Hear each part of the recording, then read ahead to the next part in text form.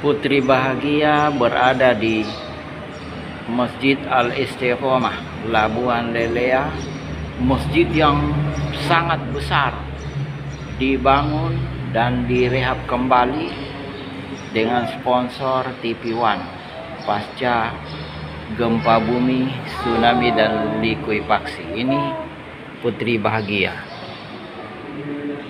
menunggu ibunya lagi berwudu giliran untuk ibunya sholat.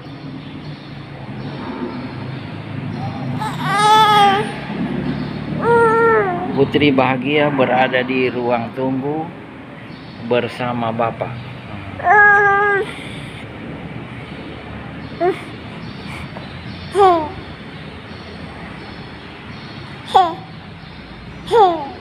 Menunggu ibunya mengambil air wudhu untuk sholat duhur.